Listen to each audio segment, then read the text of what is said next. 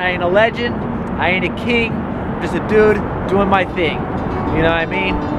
Real talk.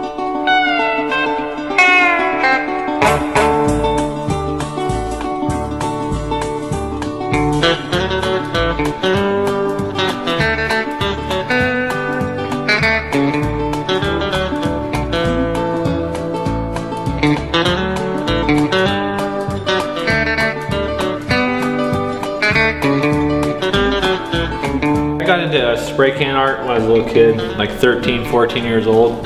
And it's something that's always just kind of stuck with me ever since. Uh, you know, it's like you just get better at it with age and uh, you know, it's kind of hard to quit something that you kind of love.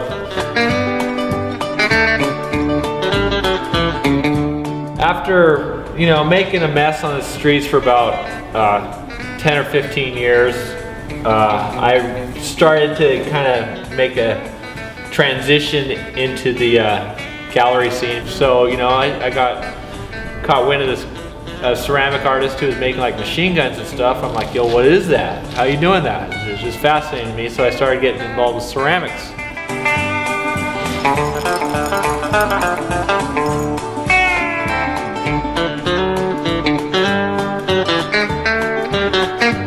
I want to have a how to paint TV show for children of all ages. You know what I mean? Children of all ages. That's that's my ultimate goal.